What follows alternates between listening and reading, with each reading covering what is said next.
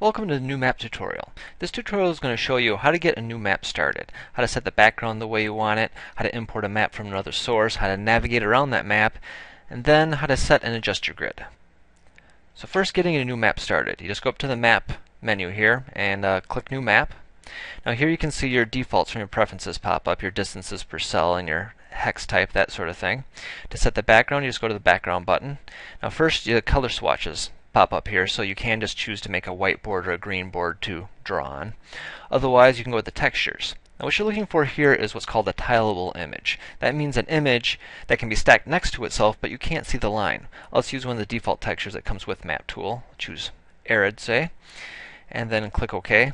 And now what you have here is what's basically a desolate wasteland that just goes on forever and ever. And because you use that texture for that background, it takes up very little memory space. And then this is really your base that you can draw and create maps off of. And then next, if you want to import a map from another source, again, just go to Map and go to New Map. This time you'll choose, uh, this time I'll make it a square grid, and we'll choose the Map button. Now this you're just looking for a, a map that you have in your resource library. Let's use again one of the defaults that come with MapTool. Now I click OK, and you can see in the thumbnail here that the map is in there and it's surrounded by the grass. That's because it's just the grass is the default texture for MapTool. If you want to change that, you can again go to the background and choose your textures. And let's say you want to be in a desert. So you choose the sand um, texture, and now you're put into a desert.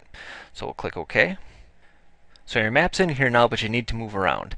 Uh, first, again, don't forget your little help section down here in the lower left that tells you how to do a lot of things. So for zooming, the easiest way to do that is just your mouse wheel. Just roll your mouse wheel and you zoom in and out. It's real quick and easy. If you don't have a mouse wheel though, don't worry. Just go to View and you have your manual way if you're of zooming and also your hotkeys, your equal, um, period, and plus that you can use. And then for moving around the map, very easy. Just use your right mouse button for your mouse. You just click and hold and you just drag around real quick and smoothly. And now lastly, the grid.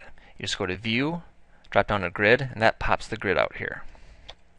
You can see the problem we're having with this grid on this map right now, though, is this map is kind of made with its own grid, the way the flooring is. So you might want to have the grid actually line up with the floor flooring, and then that way if you have snap to grid for your tokens, it'll pop into those little spots. Now, way you can adjust that on the fly is just go to the map menu and go to Adjust Grid.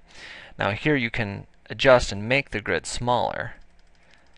And then if you right uh, left click and hold, you can move the grid around and try to line it up. You can see it's still not quite the right size, so we'll make it a little bit smaller. And then there. You can see now that it's lined up very well. So things will pop right to where they're supposed to be. But on some maps, having a black grid just doesn't work very well. Either it just doesn't look quite right or it doesn't show up very well. Well, you can just click on the little color uh, square there and all your different colors will pop up. So you can choose anything. You know, you can choose neon green if you wanted to, though obviously that's horrendous and you wouldn't want that for this map. So then you just click close and let's turn off that grid so we don't have to look at the neon green anymore.